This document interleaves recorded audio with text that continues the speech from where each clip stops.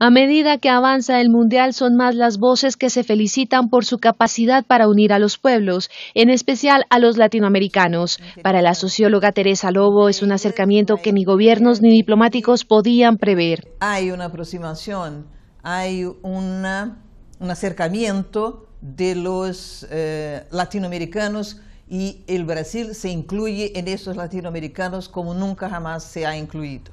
El pueblo brasileño y los latinoamericanos que acá están están mandando mensajes a sus eh, países. Que los de la diplomacia aprovechen ese clima y que hagan una cosa más seria de que tienen eh, hasta ahora en términos de Latinoamérica. El cónsul de Chile en Río de Janeiro, Samuel Osa, cree que el Mundial está acelerando una globalización regional que puede acabar con una larga tradición de desconocimiento mutuo. Va a servir de todas maneras para que los, nuestros pueblos se conozcan, tengan un mayor relacionamiento, ya sea la parte deportiva, la parte turística, la cultural, porque este es un ir y venir de, de ambos lados y estoy totalmente seguro de que así va a ser, aparte de la parte deportiva y que espero que sea un latinoamericano que gane el, el, Mundial. En las calles los seguidores llegados de todo el continente hablan de estar viviendo un momento excepcional.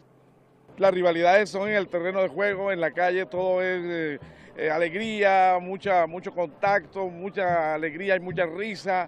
En fin, hemos disfrutado enormemente esta confraternidad del pueblo latinoamericano en este mundial. El corazón va a quedar grabado lo que es Brasil, lo que es la gente, lo que es la convivencia, la alegría, y eso no lo pierde uno nunca, al contrario, le da uno vida. A gente encontra as pessoas no metrô, todo mundo conversa, todo mundo quer ajudar, todo mundo quer avisar, quer explicar tudo. Então estou achando ótimo. Está sendo um evento para realmente reunir todo mundo. La verdad que andamos re tranquilas acá caminando, eh, la gente solidaria nos saluda, se acerca, nos hemos sacado fotos. Con independencia de qué selección alce la copa en la final, la socióloga Teresa Lobo cree que en este mundial va a ganar la latinoamericanidad, un viejo concepto que el fútbol, quizás sin pretenderlo, ha llenado de contenido.